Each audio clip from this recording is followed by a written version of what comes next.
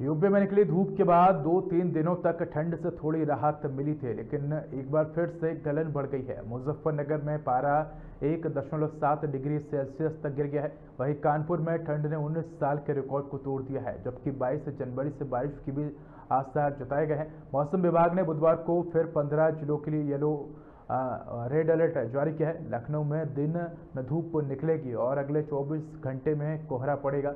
इस दौरान अधिकतम तापमान 19 डिग्री और न्यूनतम 5 डिग्री दर्ज होगा। वहीं कानपुर में सीज़न में दूसरी बार न्यूनतम पारा 2 डिग्री सेल्सियस तक पहुँच गया।